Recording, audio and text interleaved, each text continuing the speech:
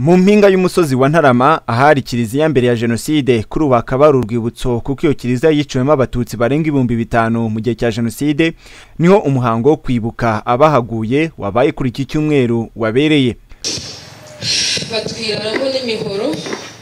Abatanze ubuhamya bw'ibyahabaye mu gihe cya jenoside bagarutse cyane ku igeragezwa rya jenoside yakorewe abatutsi bahamya ko ryakorewe mu karere ka bugesera mbere y'uko n'umwaka w'igihumbi kimwe magana cyenda mirongo icyenda na kane ugera. Babuko arambwira ati rero bukenyere uyu ni angelique mukabukizi umubyeyi wavukiye muri aka gace akahaba no mu gihe cya jenoside. Irindwi gatatu irindwi gatatu batwitse ahantu ku mugina ubu aha ngaha dutuye muri uyu murenge wa ntarama yari segiteri ntarama ihana imbibi na segiteri ya kibungo na segiteri ya kanzenze. Ku mugina ni hakurya yo ku kibungo barabatwikiye mbona bene wacu baraje baturutse ku kibungo.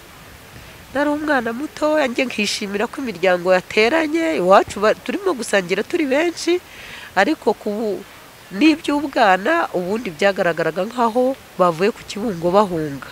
Abahigwaga b'intarama bavuga ko ngo habereye ibikorwa by'ubwicanyi bukomeye mu gihe cya jenoside.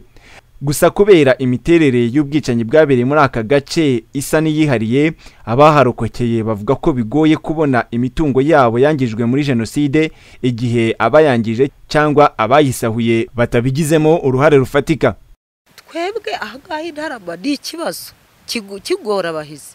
Kubera ko ntabwo nababwiye ko twaterwaga n'abavuye mu nkengero abo duhana imbibi. Twebwe hano kari agace k'abatutsi gusa. Ntabwo washinja uwo utabonye ibyacu byaranyazwe batemeye cyangwa ngo agire umutungo urutoki mu bo bafatanyije ntacyo twe twabona.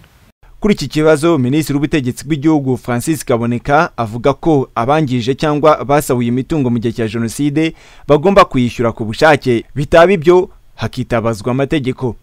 Dusabe niba bumva ari abanyarwanda bashaka kubaka u rwanda. Batange ibyo basabwa n'amategeko. Niba waratsinzwe itegeko risaba ko wishyura indishyi zishyura. Itegeko rigomba gushyirwa mu bikorwa nibinanirana ku neza ubwo hazakoreshwa imbaraga z'itegeko n'ubuyobozi kugira ngo minisitiri kaboneka avuga ko akarere ka bugesera kaza imbere muri raporo zikorwa zerekana ko abangije imitungo muri jenoside bagenda bigura intege mu kuyishyura. Muri uyu muhango wo kwibuka abatutsi baguye intarama kandi minisitiri kaboneka yongeye gusaba abarokotse jenoside gukomera no kurushaho kureba imbere birinda guheranwa n'amateka ahubwo bakayigiraho bagategura ejo hazaza heza. Fiston Felix Habineza Royal TV Intarama